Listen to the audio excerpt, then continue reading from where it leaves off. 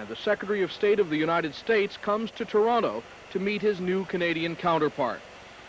To Canada's new Minister for External Affairs, Joe Clark, the sunshine is something of a symbol, a symbol of the new emphasis the Conservative government is placing on improved relations with the United States.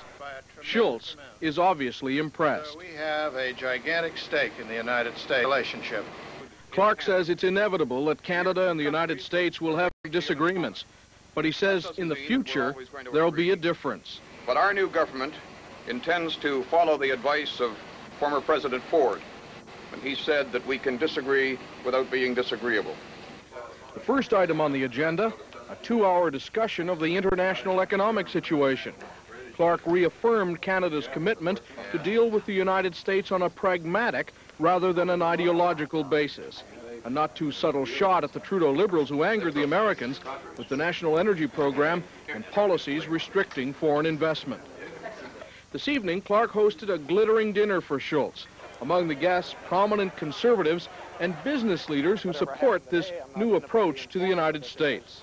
If it improves the relationship and leads to, to broader trade, that can't help but be good for our, for our economy. I'm all in favor of it. I think the whole climate uh, that's being established will make it much more conducive both for trade and for investment to flow back and forth across the border, which has to be great for citizens and great for our number one problem, which is unemployment. There's, there's no doubt that there's a real change happening. Uh, it doesn't mean by any stretch of the imagination that we're going to be crawling to the Americans on all fours. It means simply that we're going to be discussing things like mature adults without any uh, hang-ups that seem to preoccupy the previous government. Today the theme is conciliation, healing old wounds. Tomorrow will be more difficult.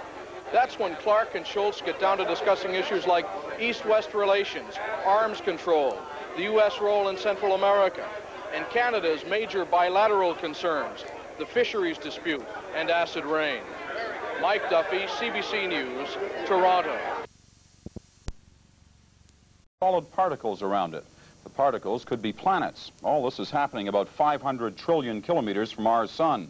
If there is one solar system beyond ours, scientists say there are probably more. And that means a greater chance that there are there is more life. Hello? Where's the beat? Quebec's priority this session is, once again, the economy. Nothing new there. But there is something very different about this new session. Example, the federal government, said Levesque, will find in Quebec a government entirely ready to foster harmonious relations. Also, the Parti Québécois must act, said Levesque, to protect and defend the interests of Quebec in the federal system. On the one hand, we're not there to make the federal system look as bad as possible, to make it work as bad as possible. We've always said that we do our best inside the system. On the surface, that doesn't sound like the PQ at all. But Levesque has been moving in that direction ever since the federal election. The PQ grassroots, these are the party workers, the people who believe that working for the PQ is working for independence. Here, Levesque's new approach to Canada is getting a mixed review. Some, a few, don't care. To me, it's a good decision. I think I have faith in that man. I always have. But others just cannot imagine the PQ not campaigning on independence the ideas of independence is so strongly attached to the Parti Québécois that you just can't separate them.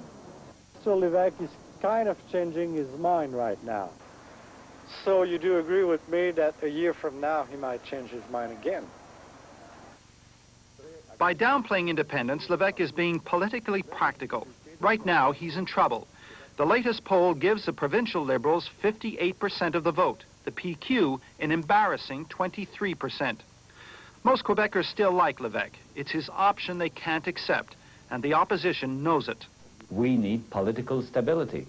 And with the Parti Québécois in power, we don't have that political stability. We have a party which is having in its program the separation of this province. So Levesque's in an extremely delicate position.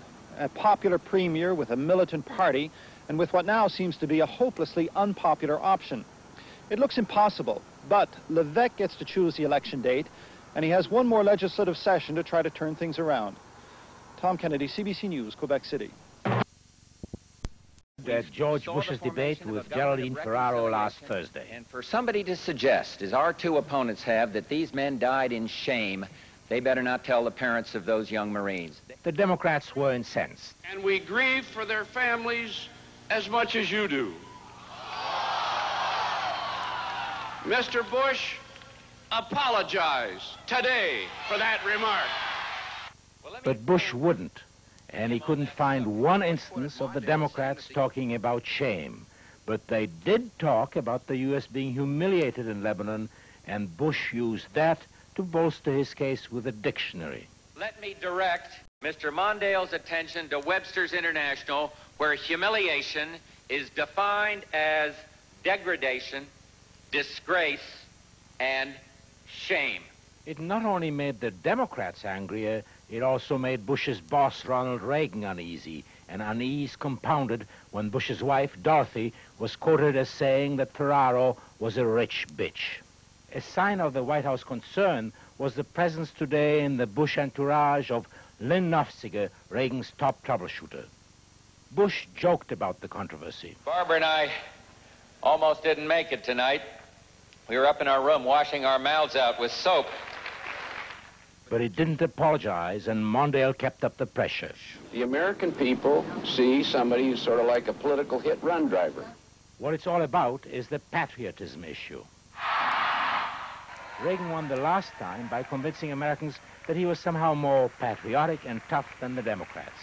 This time around, both campaigns are heavily packaged with the stars and stripes. The Democrats are determined not to be beaten again in the flag-waving department. Joe Schlesinger, CBC News, Washington. Opening of a new chapter in Canadian-United States relations.